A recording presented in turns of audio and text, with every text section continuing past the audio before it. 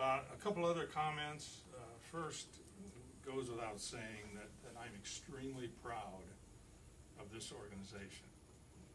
And I'm proud of this organization, not because of the beautiful facilities, although I think it helps. What I'm really proud of are the people. The people in the, in the organization that makes this thing run. Our clients, without you, we're nothing.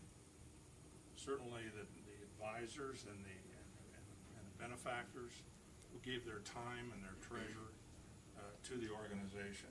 That this is a community effort, and my hope and dream for this business, this enterprise, is it will survive forever.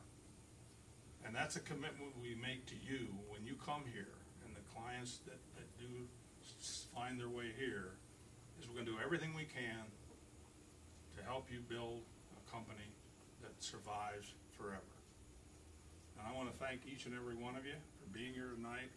Great for the opportunity to see some folks I haven't seen in a while and meet some new people as always. And thanks again for your participation and support and effort in making Aileron a phenomenal place and a place that should survive forever. Thank you again. God bless.